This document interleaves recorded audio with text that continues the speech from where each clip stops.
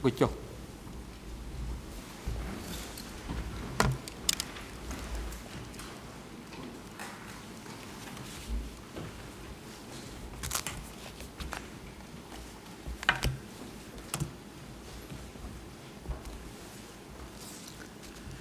អង្គជំនុំជម្រះប្រកាសបន្តកិច្ចដំណើរការនីតិវិធីសកម្មភាពដោយមានបញ្ហាអំពីឯកសារ ពាក់ព័ន្ធនឹងកិច្ចដំណើរការពិភាក្សាទៅជែកតទល់នៅពេលនេះហើយឥឡូវនេះក្រោយពីបានពិចារណាពិនិត្យពិចារណាលើបញ្ហានេះខ្ញុំក្នុងនាមប្រធានអង្គជំរះសូមប្រគល់ភារៈជូនទៅលោកចក្រមសង្មាក់ដើម្បីឆ្លើយបំភ្លឺជម្រាបជូនទៅភាគីអំពីបញ្ហាឯកសារនេះសូមអញ្ជើញលោកចក្រមសង្មាក់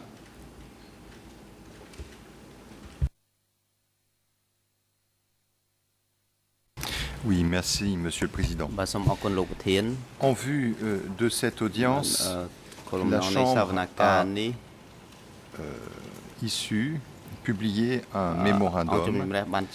en date du 9 février 2012.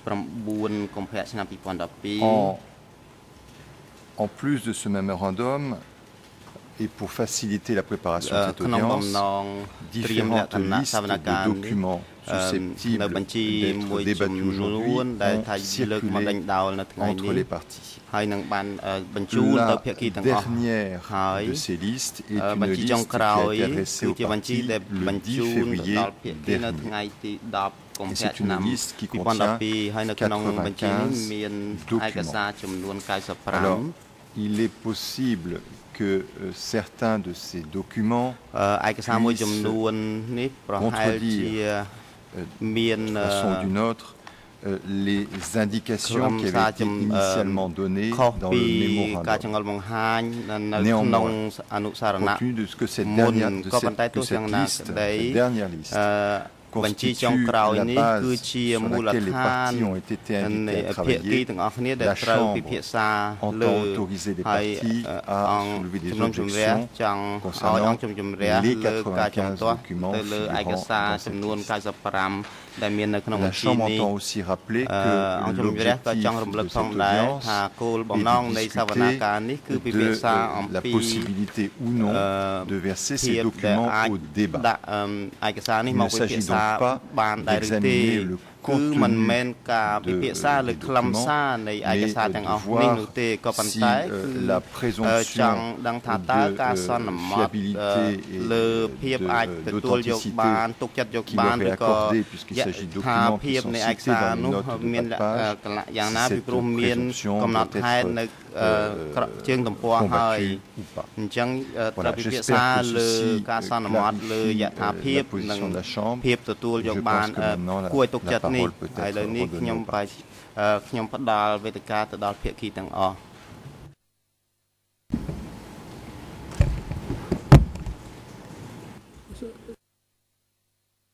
យកមេទ្វីអឺជាតិកាពីក្តីលោកនួនជា អូលោកលោកអឺកាពីក្តីលោកអៀងសេរីសូមអរគុណលោកធានសូមគោរពលោកធានលោកឧស្សាហចៅក្រមហើយអឺអឺសូមអភ័យទោសដោយសារលើកសំណើត្រូវការលើកសំណើមិនបានមុននៅពេលតឡាការប្រកាសសម្រាប់ហើយទៅពេលនេះលោកអៀងសនីស្នើសូមអឺលះបង់សិទ្ធិក្នុងការចូលរួមផ្ទាល់ក្នុងសវនាការសម្រាប់ថ្ងៃនេះដោយសារមូលហេតុសុខភាពគឺបញ្ហាពិសេសបញ្ហាឈឺចង្កេះអឺ ហើយតែសូមចូលរួមសវនាការដោយប្រយោជន៍ពីបន្ទុករងចាំនៅខាងក្រោមអាស្រ័យនេះសូមលោកប្រធានមេត្តាអនុញ្ញាតសូមអរគុណបានស្ដាប់សំណើសុំរបស់ជនជាប់ចោតអៀងសេរីដែលបានធ្វើឡើងតាមរយៈមេធាវីការពីក្តីរបស់គាត់ស្នើសុំមិនចូលរួមតាមដានកិច្ចដំណើរការសកម្មភាពដោយផ្ទាល់នៅក្នុងបន្ទប់សកម្មភាពនេះដោយទៅបន្តការតាមដានកិច្ចដំណើរការសកម្មភាពពីចម្ងាយតាមរយៈប្រព័ន្ធថតទស្សន៍នៅបន្ទប់ខាងក្រោមដែលបានរៀបចំសម្រាប់ជនជាប់ចោត រូបនេះរួចហើយដោយបញ្ហាសុខភាពមិនអាចអង្គុយស្ដាប់យូរបាននៅក្នុងកិច្ចដំណើរការផ្ទាល់នៅពេលនេះនឹងអង្គជំរះយល់ព្រមតាមដំណើរសុំរបស់អឺជនជាប់ចោតអៀងសេរីដែលបានធ្វើឡើងតាមរយៈមេធាវីការពីក្តីរបស់ខ្លួនអឺដោយលះបង់សិទ្ធិមិនចូលរួមក្នុងកិច្ចដំណើរការសកម្មភាពដោយផ្ទាល់នៅក្នុងបន្ទប់សកម្មភាពនេះដោយទៅបន្តតាមដានកិច្ចដំណើរការសកម្មភាពពីចម្ងាយ ពីបន្ទប់ខាងក្រោមតាមរយៈឧបករណ៍សោតទស្សន៍ក្នុងអំឡុងពេលធ្វើសកម្មភាពសម្រាប់ថ្ងៃនេះអឺតែអង្គជំរះតម្រូវឲ្យក្រមមេធាវីការពីក្តីលោកអៀងសេរីបកគលមកអង្គជំរះនៅលិខិតលះបង់សិទ្ធិចូលរួមដោយផ្ទាល់ក្នុងបន្ទប់សកម្មភាពនេះដោយមានចុះហត្ថលេខាឬប្រតិស្នាមរៀមដៃជាក់ច្បាស់ពីជនជាប់ចោតហើយប្រកបឲ្យផ្នែកខាងសោតទស្សន៍តបជាប់ប្រព័ន្ធសោតទស្សន៍សម្លេងនិងរូបភាពសម្រាប់ជនជាប់ចោតរូបនេះអាចតាមដានកិច្ចដំណើរការសកម្មភាពពីចម្ងាយនៅក្នុងអំឡុងពេលធ្វើសកម្មភាពសម្រាប់ថ្ងៃនេះ ហើយប្រកបឲ្យអនុរិយមន្ត្រីឃុំឃាំងនាំខ្លួនជនជាប់ចោតអៀងសេរីទៅកាន់បន្ទប់ខាងក្រោមនៃបន្ទប់សកម្មភាពនេះដែលមានរៀបចំឧបករណ៍សោតទស្សន៍ជាស្រេចសម្រាប់គាត់តាមដានកិច្ចដំណើរការសកម្មភាពពីចម្ងាយសូមនាំគាត់ទៅចុះ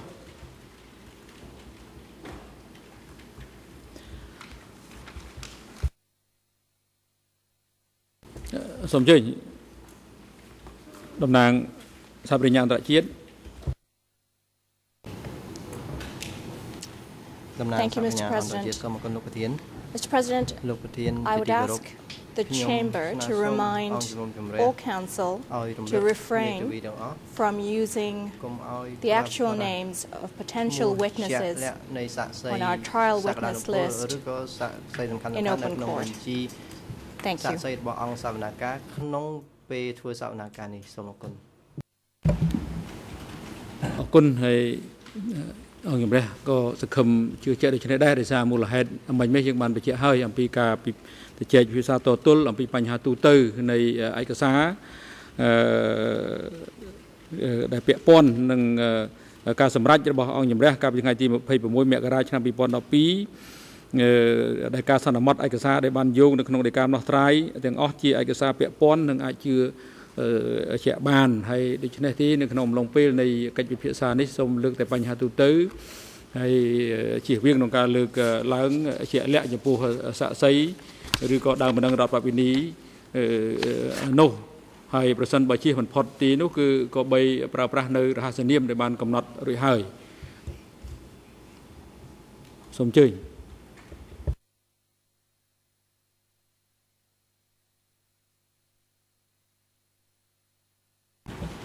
Thank you, Your Honor. Thank you, Judge Lavergne, for the clarification. Just to be clear, I did not intend to delve into the contents of these statements, just to really identify the ones on the list that we take issue with. And I'll certainly be able to finish before the lunch break. So I'd just like to read the titles of six documents from this list. So one I've read already, I'll just quickly repeat it. It's document number 19, IS 19 1.111. That's the interview with Meas Muth, former Secretary of Central Committee for Division 164. Second document is D210-2. That's a letter of reply from Stephen Heder, dated 11-08-2009 regarding Uk Bun and Sim Ka, among others. និយាយលឿនពេកហើយអឺការបញ្ជាក់នៅអត្តសញ្ញាណឯកសារមិនច្បាស់សូមឲ្យយឺតហើយបញ្ជាក់ឲ្យច្បាស់ដើម្បីបតិចរិកផងដើម្បីអ្នកបកប្រែភាសាអឺនឹងអាចតាមទាន់ក្នុងការបកប្រែភាសា I will indeed. I apologize. មេធាវីខ្ញុំនឹង Second តាម document សូមអរ is គុណឯកសារទី2គឺ D210 D2 stroke 2. that's a letter of reply from Stephen Heder, dated 11 August 2009, regarding Uk Buncheon and Simka, among others. The third document is D248 stroke 2.2. That's a transcription of an interview between Buncheon conducted by Steve Heder. The fourth document D269 stroke 9 stroke 1.15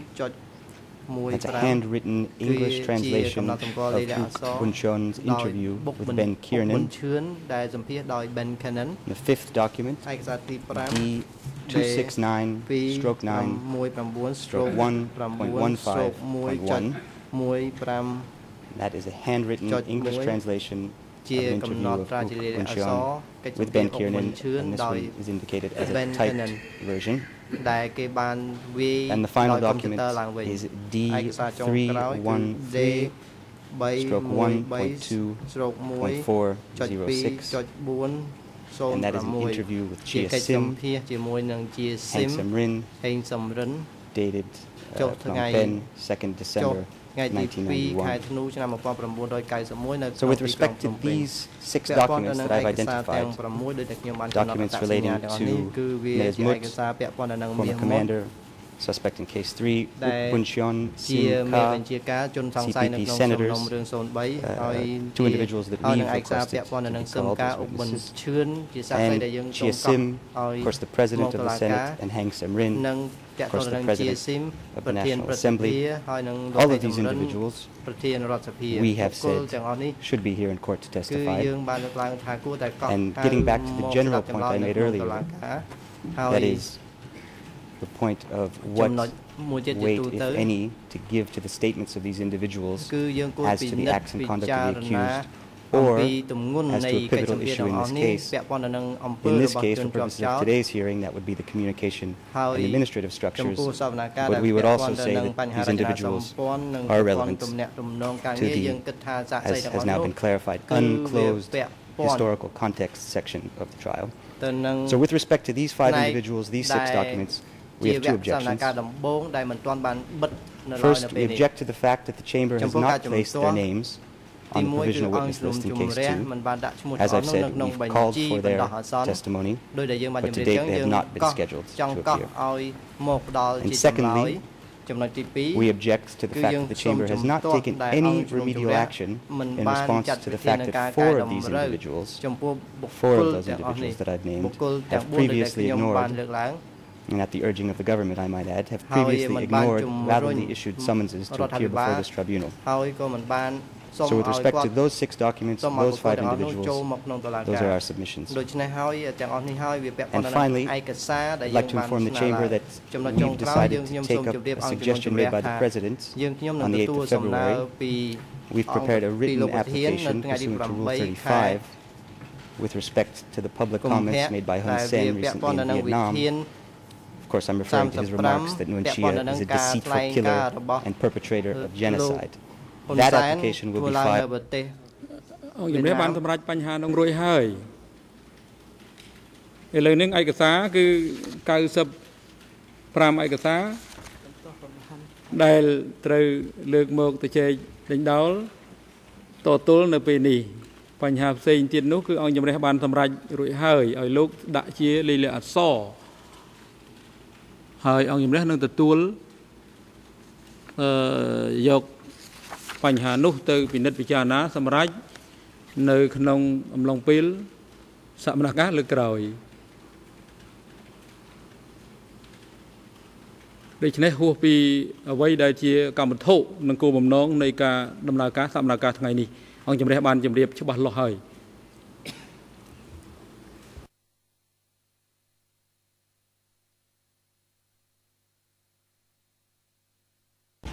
Thank you, Your Honor, for that clarification. Indeed, I will not step any further. I just wanted to alert the Chamber that we would be taking up your suggestion. That motion will be marked urgent and hope you'll deal with it in due course, as you just said. And one last point, I, I understand that Dr. Kissinger will be traveling in the region uh, in the next uh, few months, so perhaps the Chamber would consider whether or not uh, he could grace us with his presence. I think his testimony would be quite relevant to the unclosed historical segment of the trial. សក្ខីកម្មដែរ And we would certainly ទេ support, uh, ទៅតាមការ his សម្រេច appearance របស់ here. អង្គជំនុំជម្រះដែល Thank វា you ពា very ក់ព័ន្ធទៅ much. នឹងការផ្ដល់ That's សក្ខីកម្មនេះវាអាចពាក់ព័ន្ធទៅនឹងផ្នែកទី1នៃសវនកម្មរបស់យើងពាក់ព័ន្ធទៅនឹងប្រវត្តិបកគុំនេះកម្ពុជាសូមអរគុណអញ្ជើញលោកមេធាវីនាំមុខតំណាងដើមនៅរដ្ឋវិនីសូមគោរពលោកប្រធានសូមគោរពអង្គអឺលោកស្រីចៅក្រមលោកមេធាវីការពីក្តីរបស់លោកនួនជាបាននិយាយអំពីករណីលោក Kissinger អឺ ខ្ញុំចង់សូមបញ្ជាក់អឺសូមឲ្យគាត់បញ្ជាក់មើលថាតើមាននៅក្នុងចំណោមឯកសារទាំង95នេះដែរឬទេសូមអរគុណលោកប្រធាន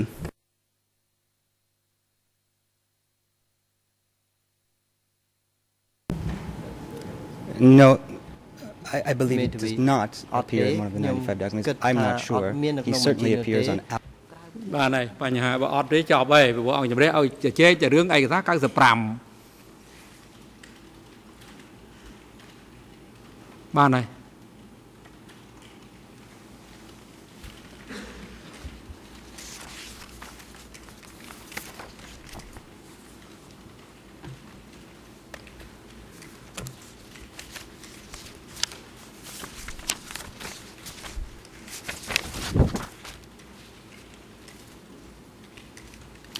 ជាបន្តអញ្ញព្រះសូមផ្ដល់វេទិកាជូនទៅ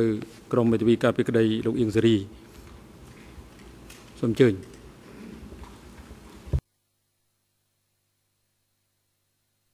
Good morning, Mr. President. Good morning, Your Honors, again, and good morning to everyone in and around the courtroom. Uh, Because we're dealing with 95 documents and we have so little time,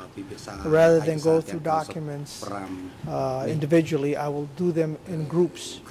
and primarily raise our concerns or observations or objections to the documents as part of a group. And I think that would facilitate the discussion and allow me to finish perhaps uh, within the next half hour. Uh, There are some documents that I will definitely spend a little bit of time on. So uh, starting off with would be document uh, D177 slash 3.1. This is a 16 February uh, document in the uh, objections to the closing order material related to the administration and the communication structures. As we understand it, this is a timeline uh, that was prepared by the OCIJ by a staff member, Richard Moore, M-O-O-R-E. We don't believe he's still working with the OCIJ. Uh, This timeline purportedly shows when Mr. Ieng Sary was traveling and out of the country and tries to somehow uh, show when individuals working for the MFA uh, went to S21. Presumably, this study or this, this timeline uh, is was being sh- prepared to show uh, when individuals would have gone to S21 while Ms. Ieng Sary was in country. We object to this document on several grounds. First and foremost, we do not know um, whether the OCIJ ever made any real substantive efforts uh, to obtain documentation from China as to when the uh, Ms. Dingshi would have been traveling abroad. I mentioned China because at the time, uh, China was the only one that had an aircraft uh, and was servicing Cambodia. So we don't know exactly what information he looked at, both inculpatory and exculpatory. In the event the trial chamber were to admit this document, we certainly would request that Mr. Moore be called, be summoned to give uh, additional information on this particular document and to be cross-examined. Uh, In the event he is not called, but the document is admitted, uh, we submit unless there is additional information that would uh, validate the timeline, that little or no weight be given to it. Next are a group of documents which relate to telegrams and Commerce Department uh, uh, documents. Uh, You will note, it's very, are- it's very easy to spot them when you look at the headings on these documents. Our primary concern is that unless we have witnesses that come and at least give some indication as to how telegrams and these documents were produced, that little or no weight be given to them should they be admitted. Uh, Simply admitting documents, uh, admitting a telegram by itself without any further testimony as to how it was generated, uh, how it was, you know, the, the mechanics of it, and of course, once it was received on one end, how it would be distributed, not to the individual to whom it was actually addressed, but also to those who might have been copied as recipients of uh, such uh, telegrams. And of course, the uh, Commerce uh, Department documents uh, it is our position that some testimony has to be elicited as to why the documents are relevant. Uh, we've already indicated in the past, I think we've had our discussions concerning our concerns as to whether documents are authentic and reliable. There's no need for me to go into that. Uh, we take it that uh, documents that seem to have been generated by the CPK at that time uh, will automatically come in. However, the trial chamber has uh, has indicated that it would entertain objections to individual documents should a party question the authenticity or reliability of it. So in other words, as I've indicated once before, it is our understanding that there is a presumption of admissibility and authenticity, but it's a rebuttable presumption, and uh, the burden is on the party who is actually challenging the document. Uh, the next block of documents are material which we call the Heder material. As you well know, Heder first worked for the prosecution, assisted in drafting the introductory submission, then switched over to the OCIJ, and then began supposedly, I guess, investigating to authenticate and to validate the introductory submission which he had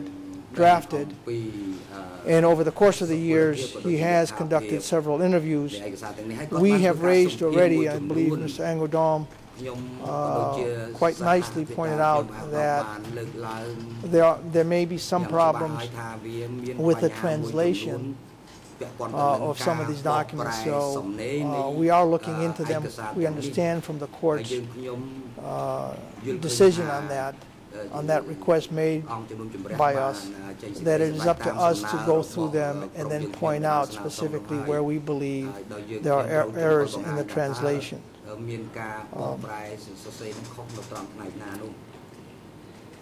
and I'm, uh, specifically I'm referring to documents uh, D248 slash 2.2 uh, we understand this one is not available in English. This is our understanding, and you know we could be wrong. Uh, D2 slash two is a letter from uh, Stephen Heder uh, to the OCIJ. Of course, uh, we leave it up to you to decide how much weight, if any, to give to that, uh, should you find it admissible. And uh, frankly, there's opposition that such these sorts of communications are the sort of documents that you are perfectly capable as professional judges uh, of uh, considering. So, we try to be measured in our objections. Uh, uh at least we strive. We don't always achieve it, but we strive for it. Um, and then, of course, uh, there are interviews with Mr. Ieng Sary, which are in the case file. There, D two uh, two nine. uh, attachment 01, D29 slash I, I believe, attachment 33, and D366 slash seven point one point five six two. Uh, it is our understanding that the first two documents are identical, are identical, that is 29, D29 attachments 01 and D21, 29 slash I, attachment 33. The third is identical except for some handwritten notes at the top of the document which say, quote, for internal use only, uh, close quote, and then May 10, 2000, and then another quote, uh, uh handwritten note, uh, censored script by SH, and then Phnom Penh. No, SH, we, we believe would be Stephen យើងយើងជឿ so in any event, there may be some duplication.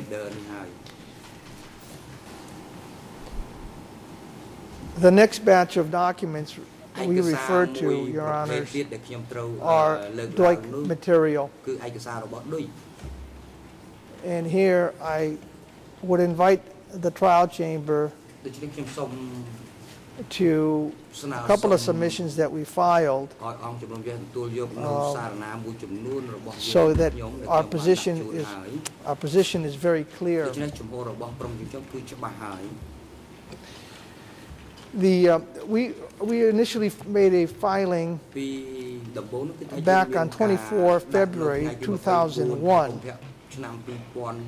where he indicated that should Duch come and testify he would have to do so as a witness and not uh, give unsworn testimony and be subject to uh, to cross-examination as a regular witness. Your Honors, on, on 9 April 2011, uh, did so indicate that would he, if he were to come, that he would have to be uh, sworn in as a witness. In, but then in, in, in April, uh, 26 April 2011 Uh, we filed another motion, and it was a two-pronged motion. One is where both we understand the prosecution and the trial chamber had found that Duch had been less than candid uh, when he was giving evidence in his own case. In other words, uh, he was either economical with the truth or he just outright provided false testimony. And at that point, we indicated that since both the trial chamber and the prosecutor, prosecution had mentioned this, that it would be exquisite you know, for the defense to at least know exactly what parts of his testimony, of his evidence, is where it was believed to uh, uh, had misled the trial chamber. And uh, we did not receive an answer from the prosecution, uh, although they did indicate that it was not their intention to to put forward any or to try to elicit any evidence from from Duch if he were called uh, as a witness. Uh, they were not elicit any testimony which they believe Duch had been untruthful in the past. We also had indicated that uh, in that particular motion,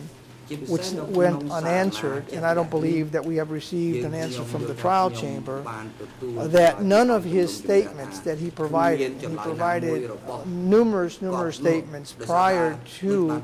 coming to court uh, in his trial, that none of those statements should be admitted without Duch being called as a witness, allowing the parties the opportunity to cross-examine Duch. And we say this because it is our firm conviction, and we've indicated this in the past, that the Duch trial was not really a trial, although it's considered a trial in the civil um, in the civil code system. Uh, it was more what we would call a change of plea hearing, although it was a long one, where the accused admits to guilt and then the trial chamber uh, tried to establish the facts in order to render an appropriate, in order to accept the plea of guilt, although at the end there was some confusion as to whether he was admitting guilt or not admitting guilt, and of course for sentencing purposes. Now why is that important? It's important because we believe and we submit that when Duch was providing uh, uh this inf- all these statements to the OCIJ, and in light of the fact that both the prosecution and the trial chamber, you yourselves that is, have already indicated that he was less than candid, that of course Duch, uh, in trying to get the best possible sentence, it is, uh, would have been in a position to be economical with the truth and to have misled uh, the trial chamber, either by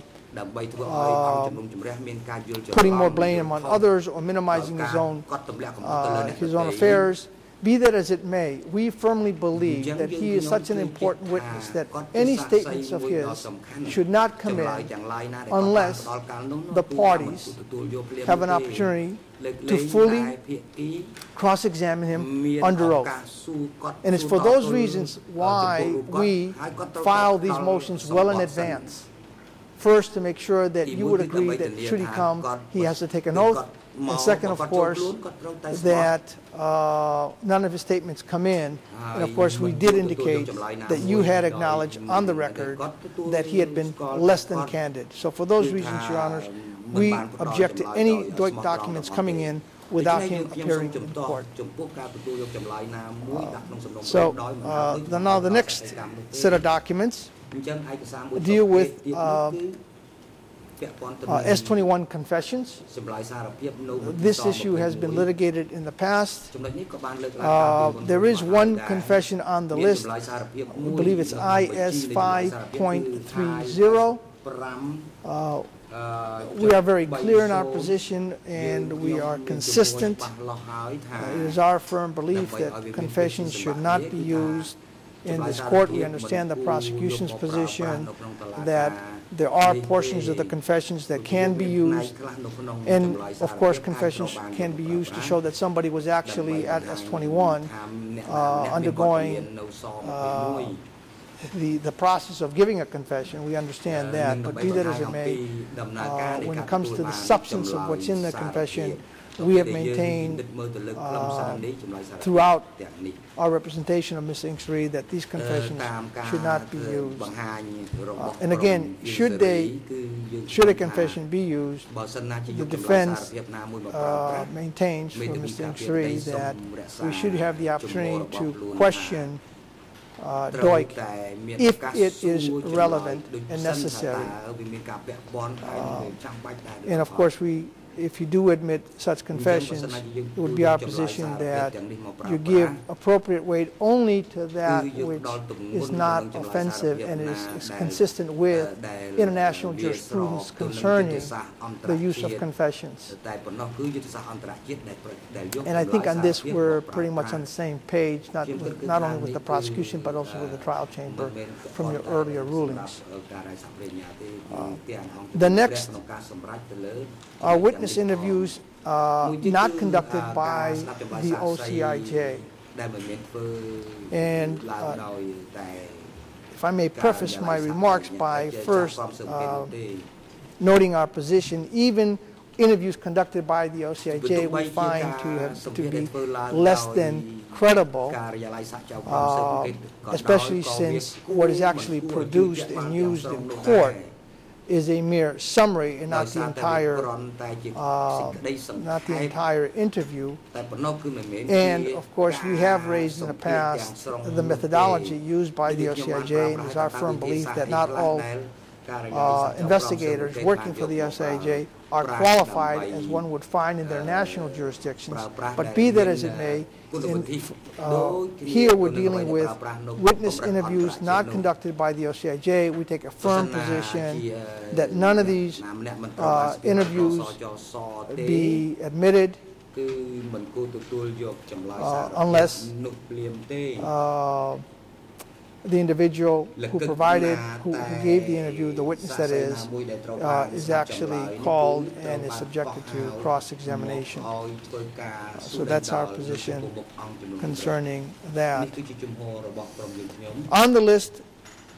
as well, there are some videos. Uh, we leave it to the trial chamber's discretion. We understand uh, that there are all sorts of videos. We under, also understand that uh, it is quite easy to mislead in a video uh, by choosing the subject matter, the composition,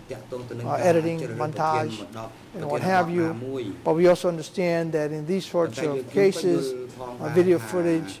um, can be useful. And uh, we also understand that you have a great deal of discretion in this area. And so when it comes to videos, uh, we uh, leave it up to your wise discretion to determine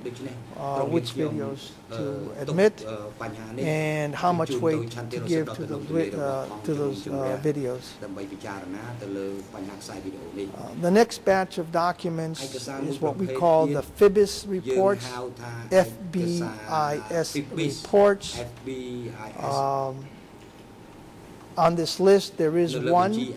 uh, D 262.3. In the past, I've, uh, there has been some debate, spirited, might I add, uh, concerning these sorts of uh, reports. Uh, we maintain our position that these sorts of reports, which are CIA generated uh, may not necessarily be uh, the best of evidence. Uh, we're not trying to cast aspersions on the CIA. Occasionally they do good work, but also they have been known to be engaged in the dark art of confabulation uh, and misinformation. Now should the trial chamber should the trial chamber find it necessary to accept uh, and to admit FBIS reports, we certainly would caution the trial chamber to give little or no weight to those reports unless, of course, the content in the report can somehow be uh, uh, confirmed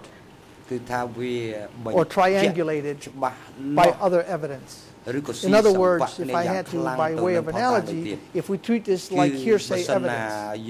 an out-of-court statement offered forged truth. Hearsay evidence in the civil law system which we find ourselves in uh, is admitted with great gusto. Uh, in fact, little, of, if any of it, is ever kept out be that as it may the judges do not necessarily accept it at face value unless it's independently established from other evidence តែផុសតាមបែបនេះក៏បានរៀបចំឬក៏ចេញឡើងដោយឯករាជ្យ uh, the, the same approach in this. and by the way when I'm making comparisons I am not uh, casting aspersions on the civil law system. I'm merely pointing out the differences uh, and we do realize that we're dealing with professional judges.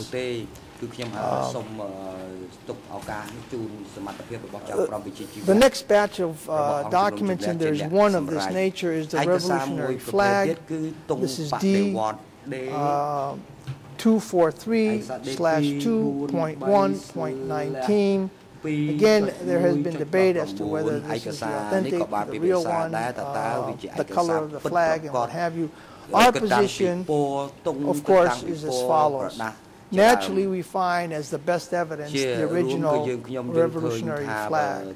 that's our starting point. that is the best evidence. so if it is available obviously it would be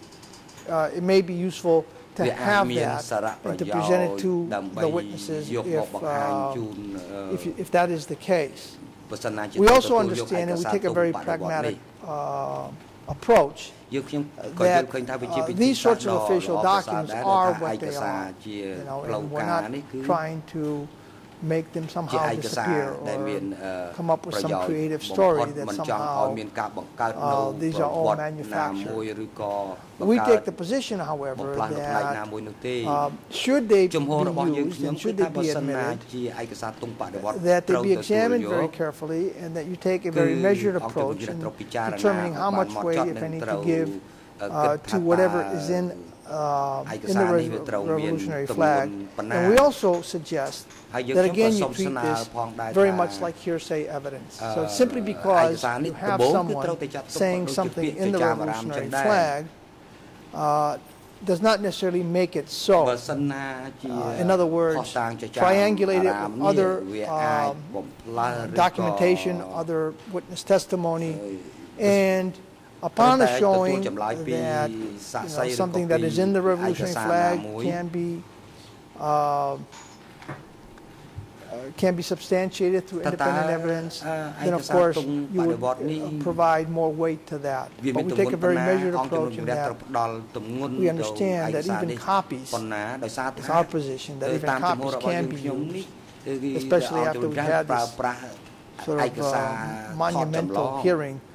on the admissibility of ហើ evidence. យ So យើងក៏មានសវនកម្មដែលនិយាយទៅលើ that's ភាព that. ទទួលយកបាននៃឯកសារនេះផងដែរ standing committee uh, meetings, min- uh, minutes of តកតង uh, ទៅនឹង meetings. កំណត់ហេតុនៃកិច្ចប្រជុំរបស់ There's គណៈអ one, ចិន្ត្រៃយ៍ there's, it's D មានឯកសារ 248 slash 6.1.6. 6.6 Again, uh, the same refrain as with the revolutionary ឯក flag. សារនេះគឺក៏វា We ខុសគ្នាទៅ understand នឹង your ឯក previous សារ ruling បដិ that វត្ត unless ដែរ we យើងខ្ញុំបានដឹងអំពីសេចក្តី can សម្រេចរបស់អង្គ show ជំនះ that a ពីមុន particular document ដែលបានបង្ហាញ lacks នៅឯក authenticity, សារមួយចំនួន it ដែល is វាខ្វះ admitted. យថាភាព Uh, we តែ do, ឯកសារទាំង however, នេះត្រូវបានទទួលយកហើយ uh, take the position ប៉ុន្តែ that ចំហ even របស់ though យើង these ខ្ញុំគឺ documents ថា can ទុក be ជាឯកសារ admitted, ទាំងអស់នេះអាច you ទទួល should យក not បាន take ក៏ at ដោយ face value uh, and at full weight, tool what is in, uh, what is contained in the uh, in the minutes uh, uh, of these, these meetings without some independent uh, indicia of reliability. So in other words, simply because you see it doesn't necessarily make the content of it uh, so reliable that you need not do any further search. We maintain very much like hearsay evidence you should triangulate this. But we do understand and we do take the position that these are uh, considered official documents. They've been pre-screened by the uh, OCIJ. ដោយសារ unless តែឯកសារនេះ we ត្រូវបាន are ក able to សច challenge ស or ពិនិត្យ in ហើយ fact យ៉ាងណា challenge នោះ any one of them គឺយើង that they ខ្ញុំ will សូម be admitted. ជំទាស់ But ទៅ of នឹងឯក course, សារនេះគឺ my ថា comments go to អឺ the weight អាច of ទ the ទូលយកបាន documents. ប៉ុន្តែត្រូវគិត And I ពិចារ apologize ណា if ទៅលើ I'm ទម្ងន់នៃឯក repeating សារនេះតែ myself. ម្ដង I'm ខ្ញុំសូម uh, trying to make my អភ័យ record ទោស on ពី all អង្គ of these ជំនុំជម្រះ documents ផង without ក្នុងករណីដែលខ្ញុំ uh, while លើក testing ឡើង your ដ patience ដែល as well. I ទៅលើ understand ឯ that. កសារនេះ Uh, The next set of documents are uh, documents that are not in an official language of the court. Uh, we believe uh, that there are two. I'm not a German speaker, but I understand that one of our uh, judges is uh, D359 slash 1 slash 1.1.41. And D 359 slash 1 slash 1.1.44 we believe that uh, these are in German, it's not an official language, so if they are going to be used, they should be translated, and then perhaps when translated, we should be given an opportunity to raise any further objections. I understand it. The, uh, the onus, you could say, would be on the parties to find a German speaker, uh, to go through these documents or whatever the language these documents would be, we, um, to that we say uh, we simply don't have the resources. But in any event, it is our understanding that they have not been translated into English, French, and Khmer. And of course, if, if in the event I misspeak at any point in time, I hope that I will have your indulgence and realize it is a a simple mistake and not an attempt to អង្គទព្រះ mislead ក៏នឹងអាចយ the trial chamber. The next document is a declaration by Mr. Ieng Sary. It's D219.1. Of course, there are no objections to that document.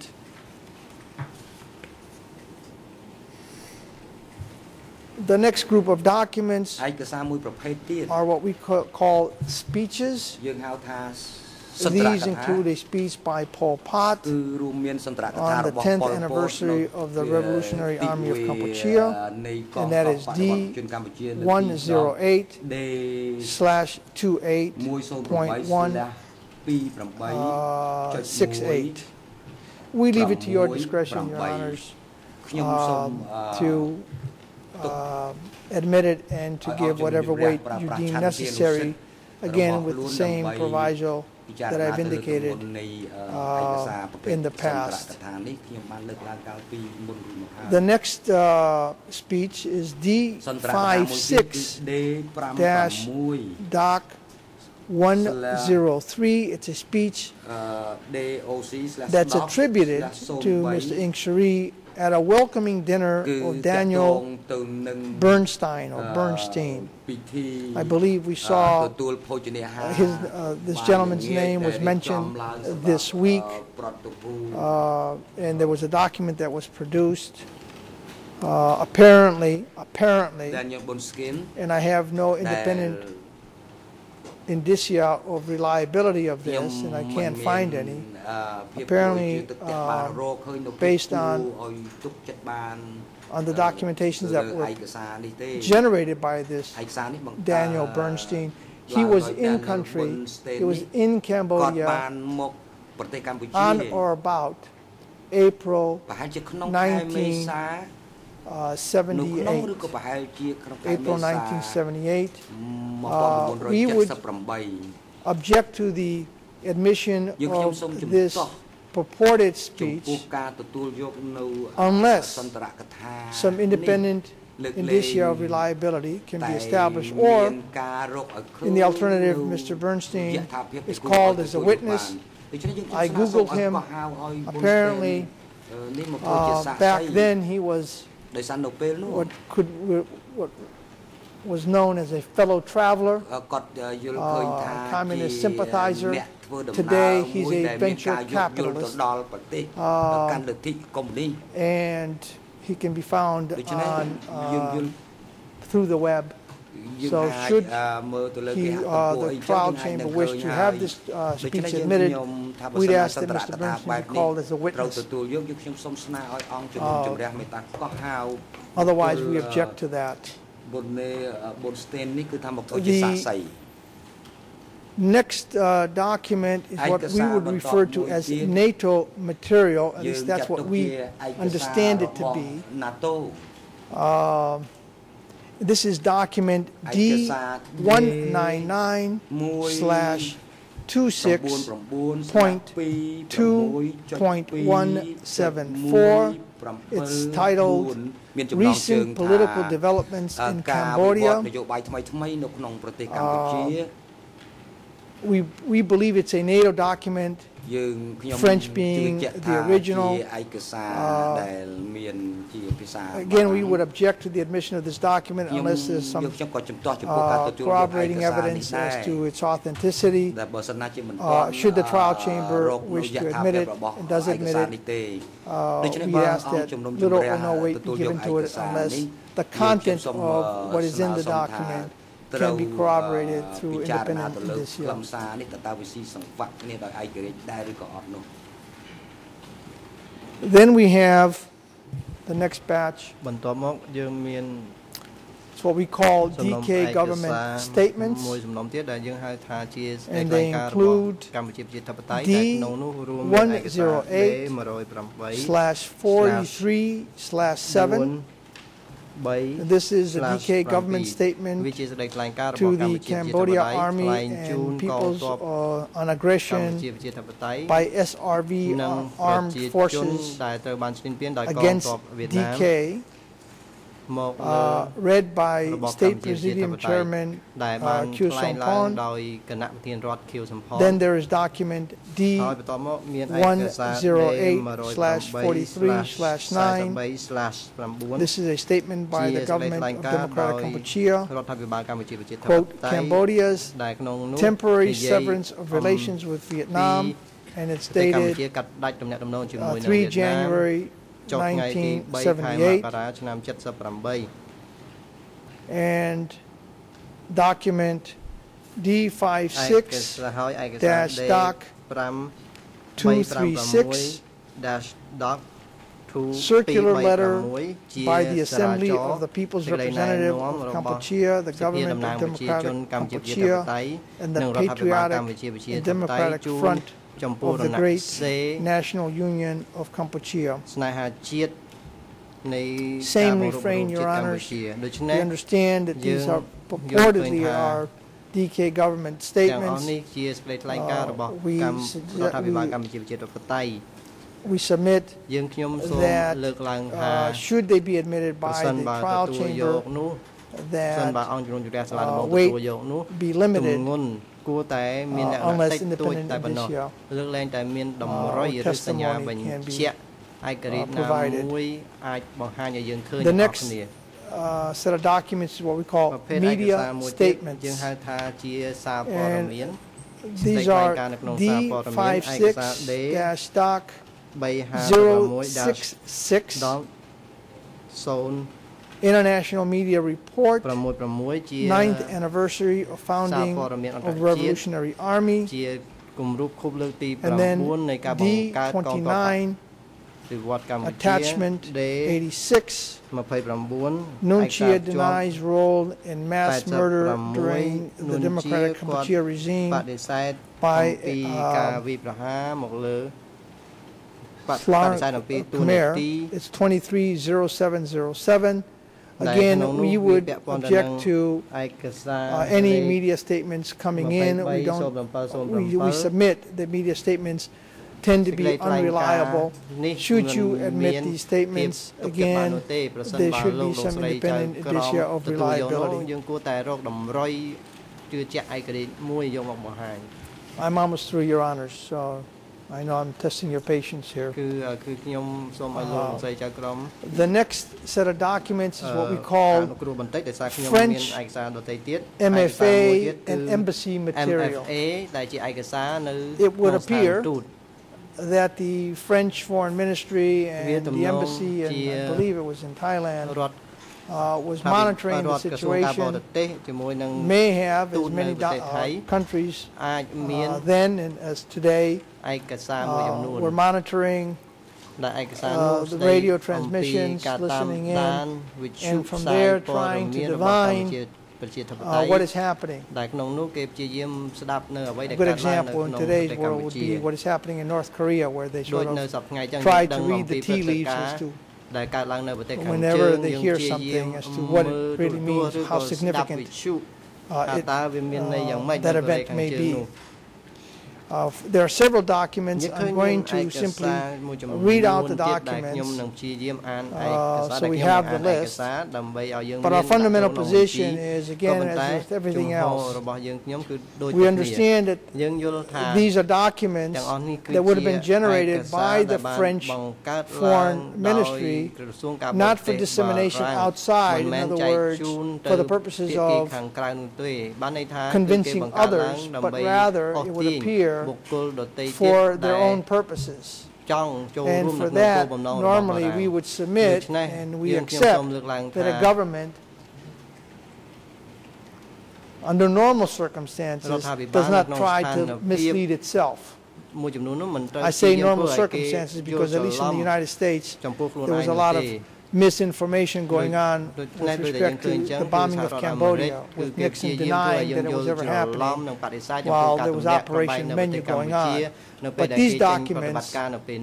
ដូច្ These នេះឯក French សារទាំងអស់ MFA នេះ documents seem to be MFA documents នេះ generated គឺជាឯក in សារ good ដែល faith, បង្កើតឡើង attempting to try ព្យា to យាម figure out what is ទស្ស happening. ទាយនៅអ្វីដែលកើតឡើងក្នុងប្រទេសកម្ And ពុជា for those reasons, we ដូ think ច្នេះ that while ចំ they ពោះ may ហេតុផលទាំងអស់នេះ have been ហើយ generated in good ឯ faith, កសារទាំងអស់នោះ they បាន may បង្ not កើត necessarily be ឡើង reliable, and ក្នុង unless លក្ខណៈសុច independently ចិត្តដូច្នេះយើងមិន uh, គួ unless រ there's independent ទទួលយក indicia នោះទេ that little លើកលែង or តែ no មាន weight be តម្រុយ given ឬ to ស them, ញ្ញាណនៃ though we do realize that they come from a reliable source. And these documents are D199 slash 26.2.38 I'm not going to read the titles to save time, Your Honors. Unless you, unless you would like me to do that. D199 slash 26.2.70 D 199 199 slash 26.2.68. D 199 slash 26.2.65. D 199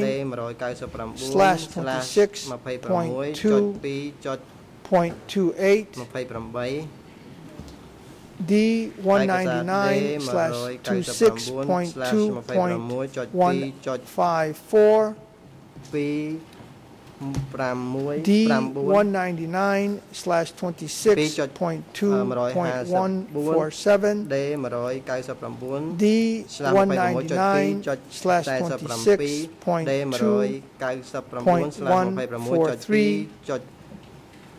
and D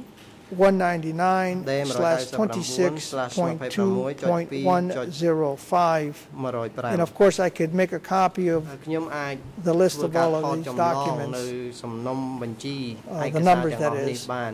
um, នឹងបញ្ជាក់ពីលេខឯក to សារ facilitate ផង anyone ដើម្បី who ជួយ uh, សម្រួល may not ដល់ have ទី a គី chance ទាំង to ឡាយដែល put គា them ត់ down មិនបានមិនកត់ត្រាមិនទាន់ The next uh, list or block of uh, list is the what we call books and មួយ articles. ប្រភេទទៀតដែលហៅថាសភៅ And និងអត្ថបទ In this batch, we're នៅក្នុងសំណុំ particularly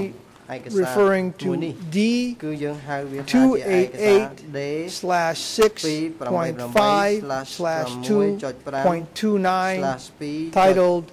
The Last ដែលយើងហៅ Joint ថា Plan. ផែនការចូល The រួម last ផែន joint ការរួមគ្នា plan. ចុងក្រោយ It appears in the closing order នៅ in ក្នុង two ដែលការបញ្ជូន separate រឿងទៅ places. ជំនុំជម្រះត្រង់ពី Footnote ផ្នែកដាច់ដោយឡែកពីគ្នាលើកលែងជើងទំព័រ 2246, which cites page 10, ដែលលេខជើងទំព័រ and then 2246ដកស្រង់ចេញពីទំ uh, ព័រទី10 footnote 37, លេខជើងទំ three- ព័រ uh, 3782, 38 citing page 37 313. Uh, we wish to bring to the trial chamber's attention a couple of matters. First, we, we believe that this is an article that was generated by uh, Mr. Carney in Cambodia 1975 to 78. We're not quite sure, but that's what we think it is. And perhaps the office of the prosecution, uh, the, the co-prosecutors could uh, shed some light on that. អាចផ្ដល់ជាពន្លឺ We ទៅលើ also ចំណុច see ហ្នឹង that យើងក៏បានយល់ឃើញផងដែរថា There are two different យើងឃើញ documents មាន under the ឯកសារ same ពីរប្រភេទខុសគ្នាដោយដលៃ under the ពីគ្នា same number. They នៅ look ក្នុងលេ differently. ខឯកសារដូចគ្នាក៏ប៉ុន្តែឯ And កសារ so, ខុសគ្នា though, for ពីរ the ហ្នឹងខុសគ្នា purposes ដូ of ច្នេះ this hearing ដើម្បីជាគោលបំណ and ងនៃ for សវនា what កា is រ it, មួយនេះ uh, what is the next phase of the, this trial, we're dealing with what is in footnote 3782. But we invite uh, the trial chamber's attention that two different documents in two different formats with the same number have appeared, and we have them, we can share them with the prosecution should they wish to. look at it. One is an appendix to a book, and the other one is a typewritten document with some handwriting on it and some corrections. It looks like a rough draft. កែប្រែខ្លះ of- ដូច្នេះឯកសារដែលវាយដោយកុំព្យូ of ទ័ the រនេះទំនង document ជា that សេច was ក្តីព្រៀងនៃ ultimately ឯកសារ printed. And if I look at it correctly, and it also ប្រសិន has បើ some ខ្ញុំមើ Khmer ល writing ទៅ to it, ក៏មានឃើញសរសេរអក្សរខ្មែរដោយដៃ as នៅ well ក្នុង as ហ្នឹងផង some ដែរ some notations. ហើយក៏មានចំណានៅលើនឹង Uh, ផងដែរ we would object to the យើង admission នឹង of ជំទាស់ this particular ទៅលើ document unless we ឯក know សារ more ជាក់លាក់ about នេះ it, លើកឡើងតែយើងបានព័ត៌មាន who generated it, បន្ថែមពីលើហ្នឹងអ្នកណាបង្កើតឯកសារ and ហ្នឹង of រៀបចំ course, ឯកសារហ្នឹង Uh, once we have that ហើយនៅពេលដែលយើងមាន information, ព័ត៌ uh, មាន we ទាំង might អស់នោះ have, ហើយ we would like to have the យើង opportunity to make further ធ្វើយ៉ាង submissions. ណាអាចមានលទ្ធឲ្យយើងមានលទ្ធភាព Of course, ដាក់សេចក្តី if the សន្និដ្ឋាន trial chamber របស់យើង were ជា to ការ admit ពិត this ប្រសិនបើអង្គជំនុំ document ជម្រះទទួលយកឯកសារ as មួយ it នេះ is, តាម without any ឯក further សារដោយផ្អែកទៅលើឯកសារ uh, នេះ clarification ដោយមិន as to ទទួល who យកការ generated បញ្ it, ជាក់បំភ្លឺតើ and តើ that, នរណា uh, បង្ then កើត we រៀប would ចំឯក suggest សារនេះនោះ that little or ដូ no ច្នេះ weight be given to បើ it. សិនបើករណីនឹងមែននោះគឺយើងខ្ញុំស្នើឲ្យផ្ដល់ទម្ងន់តិចតួចបំផុតទៅលើឯកសារមួយនេះ I believe, uh, Your Honors, ខ្ញុំជឿថា that with that, លោកស្រីចៅក្រម I have concluded my យើង presentation. ខ្ញុំបានមក Uh, Unless there are any បញ្ចប់ questions ប from ទ the បង្ the ហាញ trial របស់ខ្ញុំ chamber, ត្រឹមនេះលើកលែងតែមាន Uh, សំណួរ I ច have ង់ nothing ចោទសួរ further ពី on អង្គ this ជំនុំ matter. ជម្រះ I hope our បន្ថែម presentation ទៀត was ខ្ញុំមិន sufficiently មានអ្វី clear. បន្ថែមទៀតទេការបង្ហាញរបស់ Uh, ខ្ញុំលើ thank ឯ you. កសារប្រកាសជាច្បាស់ជូនអង្គជំនុំជម្រះហើយសូមអរគុណច្រើនអរគុណលោកមេធាវីហើយជាកិច្ចបន្តអញ្ញព្រះសូមផ្ដល់ពីតិកាទៅក្រមមេធាវី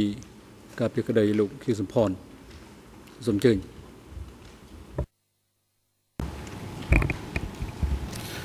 បាទសូមអរគុណលោកប្រធានអឺសូមគោរពក្រុមប្រឹក្សាជំនុំជម្រះ និងអង្គសវនាការទាំងមូលមុននឹងចាប់ដើមធ្វើបទបង្ហាញនេះខ្ញុំបាទសូមជម្រាបជូនថាយើងខ្ញុំមានឯកសារជាអឺកូពីបើសិនជាភាគីណាចង់បានឯកសារដែលខ្ញុំនឹងធ្វើការបង្ហាញនេះអាចតាក់ទងជាមួយសហការីរបស់ខ្ញុំ ដើម្បីយកទៅតាមដានហើយម្យ៉ាងទៀតយើងអាចថាជាការងាយស្រួលសម្រាប់ធ្វើការផ្ទៀងផ្ទាត់ជាមួយគ្នាមិនមែនជា ការដាក់ជាផុសតាងអីទេបាទគឺសម្រាប់ការពិភាក្សានៅពេលនេះបាទ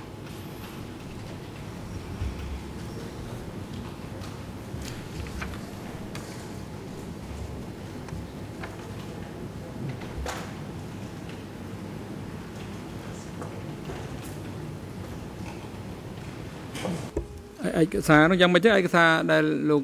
មានហើយមានបំណងចែកជូនដល់ភាគីដែលមានបំណងចង់បានហ្នឹងតើនៅក្នុងចំណោមឯកសារ95ដែលអង្គជំរះបានកំណត់នៅក្នុងការពិភាក្សាតទល់នៅពេលនេះឬក៏យ៉ាងម៉េចបាទសូមអរគុណលោកប្រធានគឺឯកសារនេះយើងធ្វើទៅតាមបញ្ជីដែល អង្គជំនុំជម្រះដាក់ឲ្យហើយជាឯកសារដែលមានចំនួន95នេះហើយគាត់យើងធ្វើការបញ្ជាក់បន្ថែមចំពោះមូលហេតុនៃការបដិសេធជំទាស់របស់យើងបាទអរគុណសូមអញ្ជើញ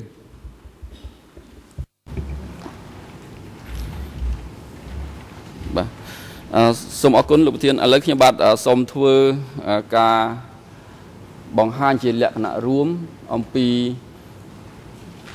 មូលដ្ឋាននៃការជំទាស់របស់យើងទៅលើឯកសារទាំង95នេះការពិនិត្យទៅលើឯកសារនីមួយៗគឺជាភារកិច្ចរបស់តុលាការបាទហើយចំណែកការជំទាស់របស់ភាគីទាំងឡាយគឺជាកម្មវត្ថុមួយ ដើម្បីជួយដល់អង្គជំនុំជម្រះក្នុងការបំពេញកិច្ចការរបស់ខ្លួនទៅលើការសម្រេចនេះបាទ ហើយជាការសំខាន់គឺថាអង្គជំនុំជម្រះមិនត្រូវដាក់បង្ហាញនៅឯកសារដែលមានចំនួនច្រើនហើយដែលឯកសារទាំងនោះมันមានតម្លៃគួរឲ្យជឿជាក់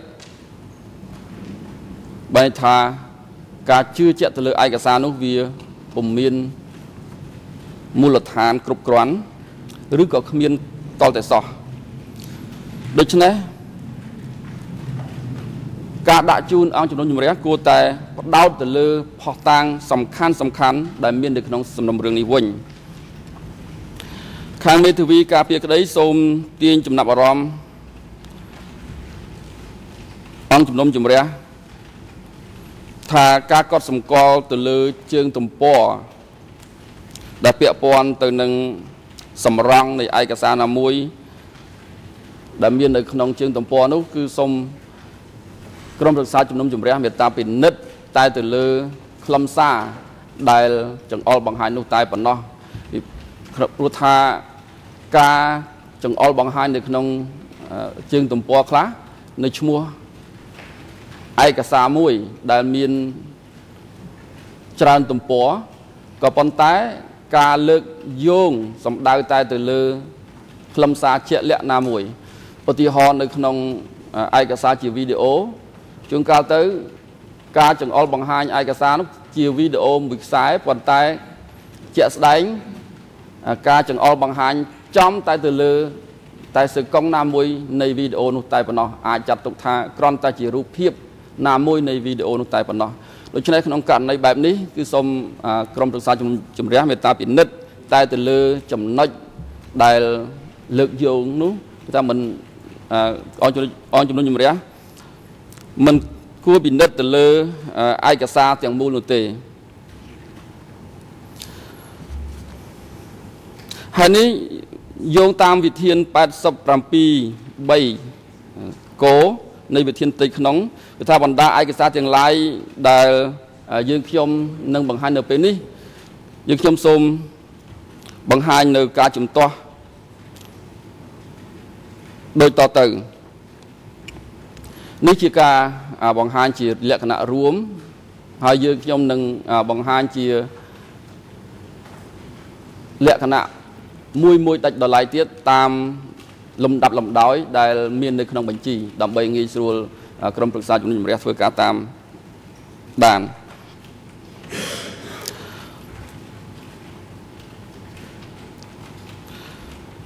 ទី1គឺថាឯកសារមានឯកសារដែលបង្ហាញ នៅ ក្នុងសំណុំរឿង001ដែលជាឯកសារត្រូវបានទាត់ចោលដោយក្រុមប្រឹក្សាជំនុំជម្រះក្នុងសាលាដំបងរួចហើយដូច្នេះឯកសារប្រភេទនេះមិនគួរត្រូវបានដាក់ឲ្យដេញដោលទៀតទេទី2 កំណត់ហេតុអះអាងនានារបស់បុគ្គលមួយចំនួន ដែលធ្វើនៅក្រៅតុលាការគឺជាប្រភេទឯកសារដែលពុំបានធ្វើការផ្ទៀងផ្ទាត់ទៅលើរបៀបនៃការធ្វើសម្ភារឬក៏របៀបនៃការទទួលយក នៅចម្លើយទាំងអស់នោះ ដែលខុសពីប្រព័ន្ធតឡាការដែលអាចឲ្យ អ្នកដែលផ្ដល់ចម្លើយត្រូវធ្វើការស្បត់ឬក៏មានការធ្វើកំណត់ត្រាច្បាស់លាស់ដែលមិនមែនជាការធ្វើសេចក្តីសង្ខេបទៅលើចម្លើយរបស់បុគ្គលណាម្នាក់នោះ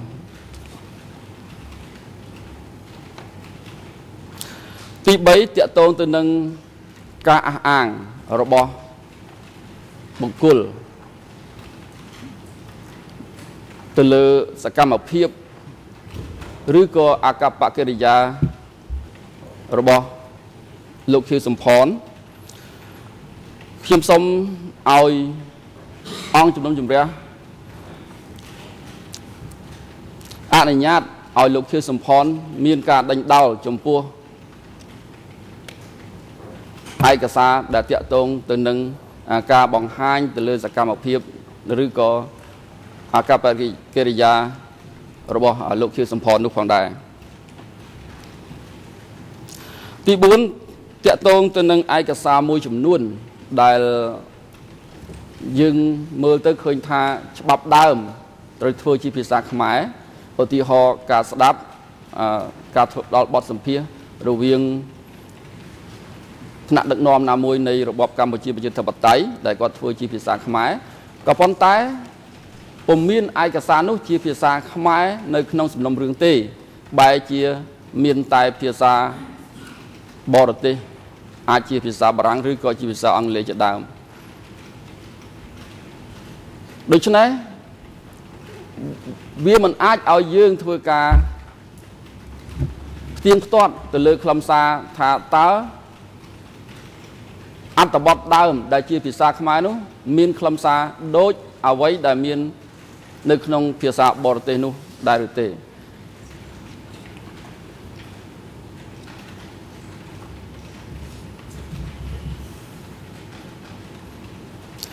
ចំណុចទី5គឺតកតងទៅនឹង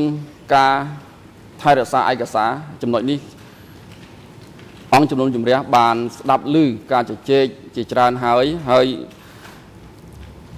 យើងតែងតែបដិសេធ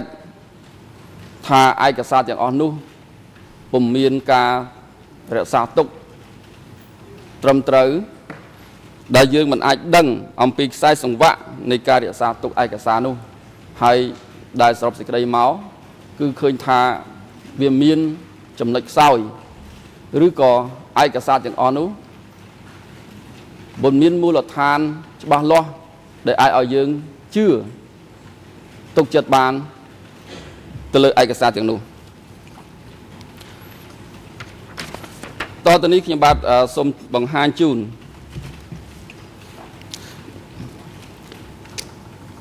នៅឯកសារទី1ដែលមាននៅក្នុងបញ្ជីរបស់អង្គជំនុំជម្រះលេខ IS 18.21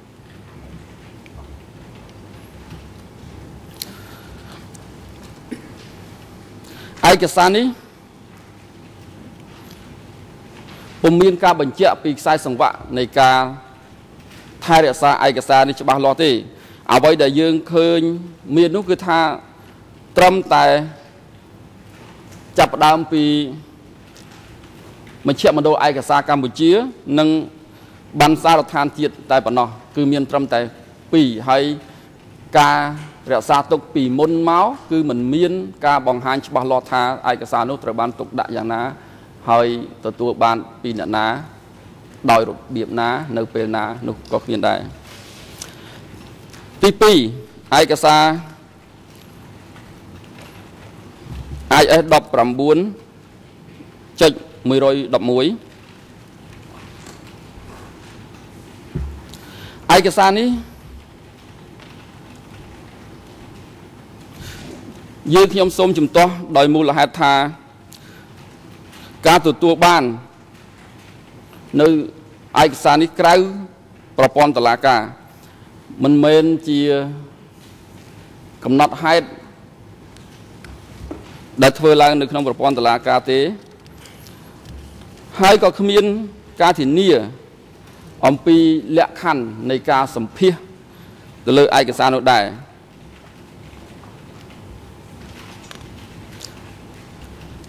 ទីបំផុតយើងក៏មិនអាចធ្វើការផ្ទៀងផ្ទាត់បានទេ ចំពោះឯកសារនេះអញ្ចឹងការផ្ទៀងផ្ទាត់បាន គឺមានតែមួយយ៉ាងគត់គឺត្រូវឲ្យអ្នកដែលផ្ដល់ការសម្ភាសចំពោះឯកសារនេះមានវត្តមានចំពោះអង្គសវនាការដើម្បីឲ្យយើងអាចធ្វើការសួរដេញដោលតាក់ទងទៅនឹងខ្លឹមសារទាំងឡាយដែលមាននៅក្នុងឯកសារ 19.111នេះ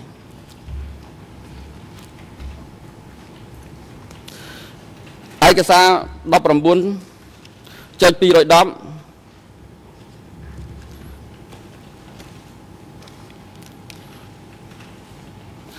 គឺមានទំនងប្រហាក់ប្រហែលគ្នាទៅនឹងឯកសារមុនដែរជាសេចក្តី ប្រកាសឬក៏ជាកំណត់ហេតុរបស់បុគ្គលម្នាក់ដែលធ្វើឡើងនៅក្រៅប្រព័ន្ធតុលាការក្រៅពីនេះទៀតឯកសារនេះវាបង្ហាញនៅភាពលំអៀងដោយសារអីដោយសារឯកសារនេះត្រូវបានធ្វើឡើងដោយមជ្ឈមណ្ឌលឯកសារកម្ពុជា ហើយយើងមើលទៅឃើញថាមជ្ឈមណ្ឌលឯកសារកម្ពុជានេះ ធ្វើការប្រមូលឯកសារគឺដើម្បីតែដាក់បន្ទុកតែប៉ុណ្ណោះ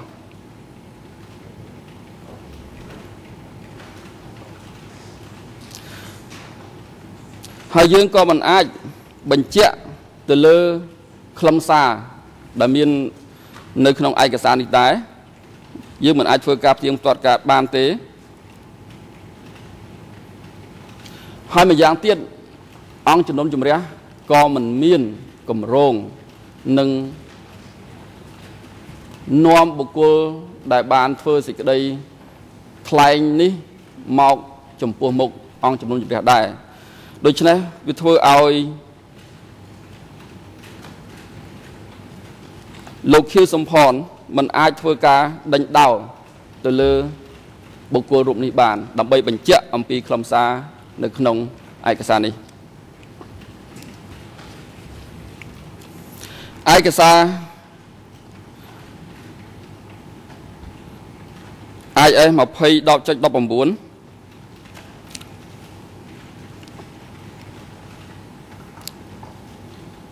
ឯកសារនេះត្រូវបានច្រានចោលនៅក្នុងសំណុំរឿង001រួចហើយហើយលក្ខខណ្ឌដែលច្រានចោលនោះ គឺមានសុពលភាព នៅឡើយដូចមាននៅក្នុង កំណត់លេខកូដលេខសម្គាល់ឯកសារលេខ E 43/4ដែលជាសេចក្តីសម្រេចស្តីពីភាពដែលអាចទទួលយកសម្ភារៈដែលមាននៅក្នុងសំណុំរឿងធ្វើជាផុសតាងនៅក្នុងកថាខណ្ឌទី20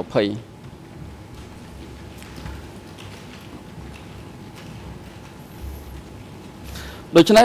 បើសិនជាអ ងជំនុំជម្រះចង់ឲ្យទទួលយកឯកសារនេះគឺលោកខៀវសំផនសោបស្នើសុំឲ្យបុគ្គលដែលបានផ្ដល់នៅកំណត់ហេតុនេះចូលមកបង្ហាញខ្លួនចំពោះមុខអង្គសវនាការដើម្បីយើងអាចធ្វើការសួរដេញដោលហើយបុគ្គលដែល មានឈ្មោះនៅក្នុងឯកសារនេះតាមលេខកូដរបស់អង្គចំនួនរបស់សាលាដំបងនៃតឡាការវិសាមញ្ញនេះគឺមានលេខ TCW 511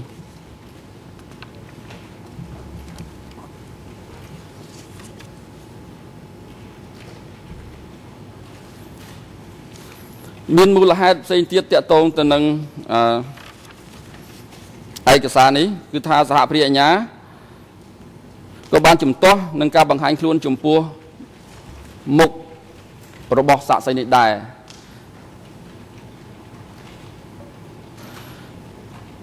ហើយឯកសារនេះគឺថាធ្វើឡើងដោយបាទហើយតឡាការក៏មិនមានកម្រងនឹងក៏ហៅសាក់សីរូបនេះបុគ្គលនេះ មកធ្វើជាសាក់សីដើម្បីបំភ្លឺដែរដូច្នេះវាអាចជាបញ្ហាមួយគឺយើងមិនអាចធ្វើការសួរដេញដោលទៅលើសាក់សីនោះបានឯកសារ21.103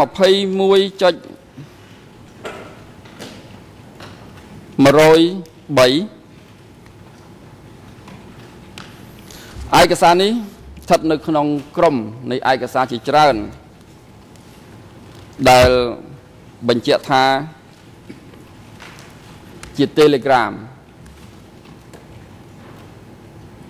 ឬក៏ទូទូលេខតែការពិតឯកសារនោះមិនមែនជា Telegram ទេ វាជាឯកសារគណនី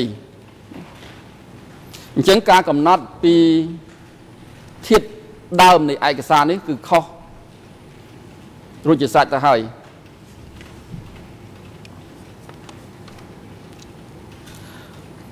ទី2ទៀតខ្សែសង្វាក់នៃការថែរក្សាឯកសារនេះក៏មិនមានលក្ខណៈច្បាស់លាស់គឺត្រូវបានទទួលតាមរយៈមជ្ឈមណ្ឌលឯកសារហើយនឹងបណ្ណាសាប្រធានជាតិ ដោយឡែកទៀតយើងឃើញថានៅលើឯកសារនេះមានចំណាសរសេរដោយដៃ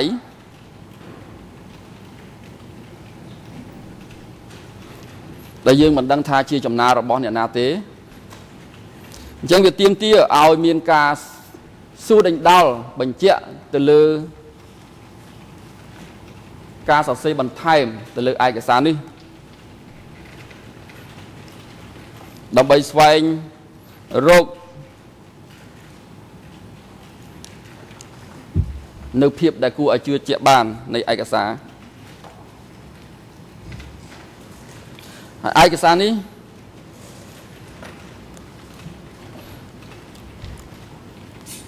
អាចត្រូវបានគូកងជាមួយនឹងសាក់សីដែលមានលេខកូដ TCW 583ដូច ស្រដៀងគ្នានេះដែរចំពោះឯកសារ3ខាងក្រោមទៀតមានលេខ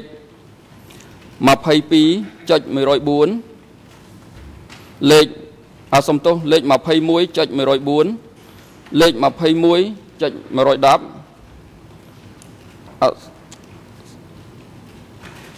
បាទលេខ21.114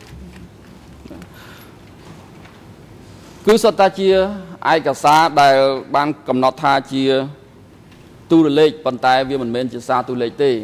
គឺជាឯកសារគណនីហើយដែលខ្ញុំបាទសូមលើកមូលដ្ឋានដើម្បីជំទាស់ដូចមាននៅក្នុងឯកសារ21.103ដែរ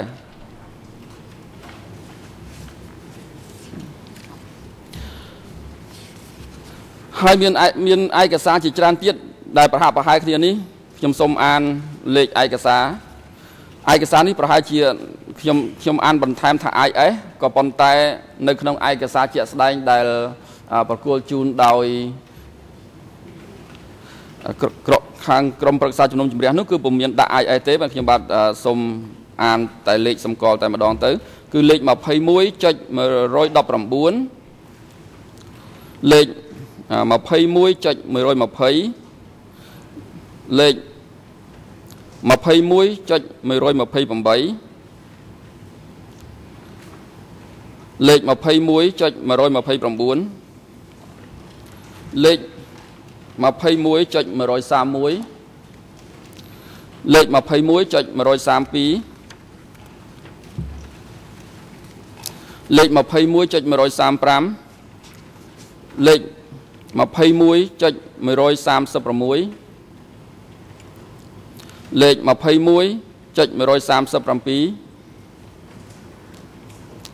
លេខ21.139លេខ21.140លេខ21.143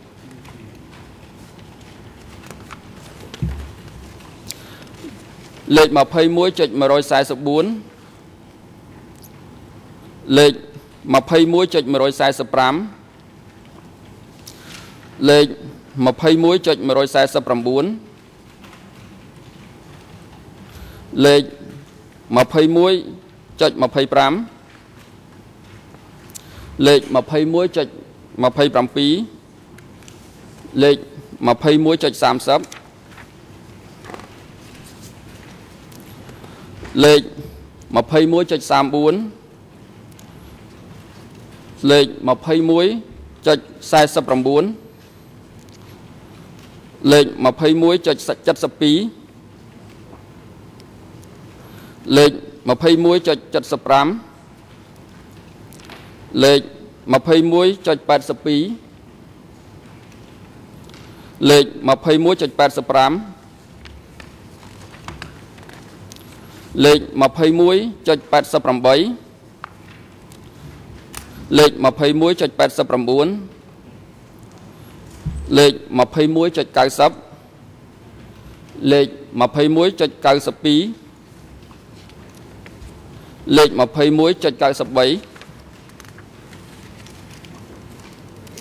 លេខ21.95លេខ21.97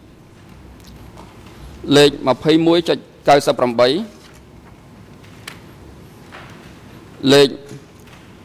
D 161/1.30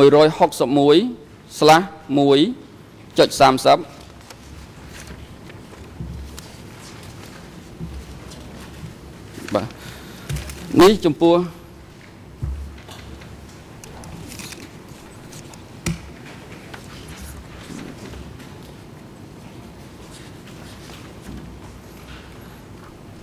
នេះចំពោះឯកសារដែលពាក់ព័ន្ធទៅនឹង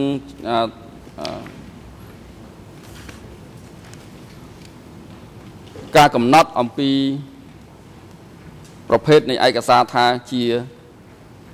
Telegram ជាសារទូលេខប៉ុន្តែវាមិនមែនជាសារទូលេខទេខ្ញុំបាទលោកប្រធានឃើញថាម៉ោងដល់ពេលសម្រាប់ហើយខ្ញុំបាទអាចសូមអនុញ្ញាតសម្រាប់ឈប់ត្រឹមនេះឬមួយក៏យ៉ាងណាបាទ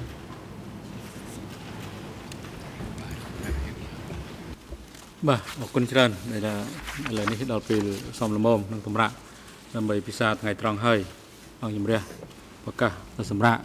ចាប់ពីពេលនេះទៅទៅរហូតដល់ម៉ោង1:30នាទីរសៀលនេះសូមអញ្ជើញចូលវិញដើម្បីបន្តកិច្ចដំណើរការសកម្មភាពអនុរិយមន្ត្រីឃុំឃាំងឲ្យនាំខ្លួនជនជាប់ចោតនួនជានិងខៀវសំផនទៅ សូមអញ្ជើញលោកមេធាវីអន្តរជាតិការពីក្តីនួនជា Thank you. Uh, if I may finish that sentence to the holding cell for this afternoon and uh, would like to stay there. I have um, uh, required waivers which I can hand over to the court officers.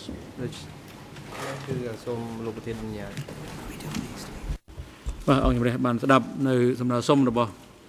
មេធាវីការពីក្តីលោកនួនជាសូមឲ្យកូនក្តីរបស់ខ្លួនទៅបន្តការតាមដានស្ដាប់កិច្ចដំណើរការសម្ដែងការពីចម្ងាយនៅបន្ទប់ខាងក្រោមតាមរយៈប្រព័ន្ធសោតទស្សន៍ដោយលះបង់សិទ្ធិក្នុងការចូលរួមកិច្ចដំណើរការសកម្មភាពផ្ទាល់នៅក្នុងបន្ទប់សកម្មភាពនេះអង្គជំរះយល់ព្រមតាមសំណើសុំប៉ុន្តែអង្គជំរះតម្រូវឲ្យក្រមមេធាវីការពារក្តីនួនជាប្រគល់មកឲ្យជំរះភ្លាមភ្លាមនៅលិខិតលះបង់សិទ្ធិក្នុងការចូលរួមផ្ទាល់នៅក្នុងសកម្មភាព ដោយចុះហត្ថលេខាឬស្នាមរៀមដៃបិទផ្ដិតស្នាមរៀមដៃជាក់ច្បាស់ពីជនចាប់ចោតនួនជាហើយបង្កប់ឲ្យសតទោសភ្ជាប់ប្រព័ន្ធថតទស្សន៍តម្លេងនិងរូបភាពសម្រាប់ជនជាប់ចោតនួនជាបន្តការតាមដានកិច្ចដំណើរការសកម្មភាពពីចម្ងាយក្នុងអំឡុងពេលសកម្មភាពនៅរសៀលនេះហើយប្រកបឲ្យអនុរិយមន្ត្រីឃុំឃាំងនាំខ្លួនជនជាប់ចោតទាំងពីររូបនួនជានិងខៀវសំផនទៅកាន់បន្ទប់ខាងក្រោមហើយដោយឡែកនឹងធានេះប្រកបឲ្យនាំខ្លួនលោកខៀវសំខនខៀវសំផនមកកាន់ សាលសកម្មភាពវិញឲ្យបានមុនម៉ោង1:30នាទីដោយឡែកលោកនុនជាគឺទុកឲ្យគាត់បន្តតាមដានកិច្ចដំណើរការសកម្មភាពពីចម្ងាយនៅបន្ទប់ខាងក្រោមដែលរៀបចំសម្រាប់គាត់ចុះសម្រាប់ចុះ